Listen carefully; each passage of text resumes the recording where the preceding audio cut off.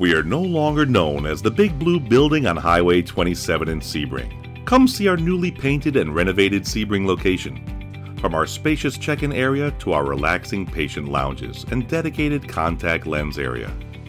We added several additional exam rooms and testing rooms to meet all your eye care needs.